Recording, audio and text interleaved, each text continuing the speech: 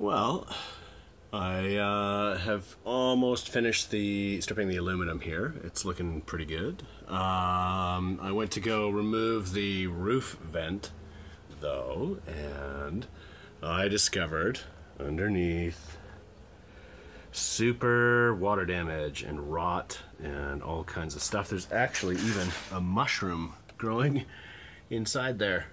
Fantastic. So it looks like this job just went from being a little paint job to replacing this uh, roof panel. Doesn't look like the side uh, panels have got any moisture damage, or if any, maybe there's a bit of staining, but that's about it. Uh, so I'm hoping the deal will be that I can just pull those panels off up there and replace them with some um, half inch ply, or I'm not sure what they've used up there, but I'll figure it out. Um, bummer.